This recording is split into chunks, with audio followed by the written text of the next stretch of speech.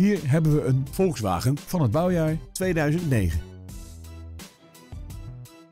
In het sportieve interieur is het prettig toeven dankzij climate control, een elektrisch bediend glazen panoramadak en cruise control.